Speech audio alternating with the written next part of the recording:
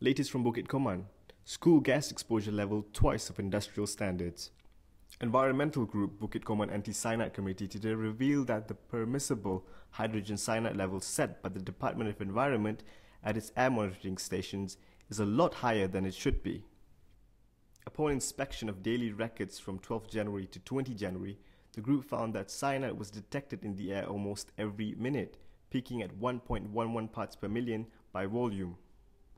What's more worrying, Bukit Koman Anti-Cyanide Chairman Wong Kin Hoon says the Department of Environment has set the permissible limit of hydrogen cyanide at 10 parts per million, double the industrial standards, which is set at 4.7 ppm.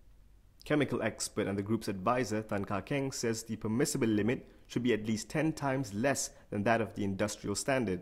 If we have a limit, for example, uh, uh, 4.7 for workers in the factory, for the public, usually it's at least 10 times less. Uh. Yeah. At least 10 times less, depending. And then we also look at children.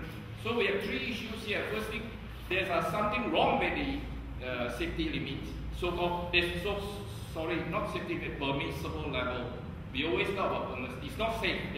Tan then clarified that he is not opposed to mining, but if it is going to be done, the safety of the surrounding residents should be a priority.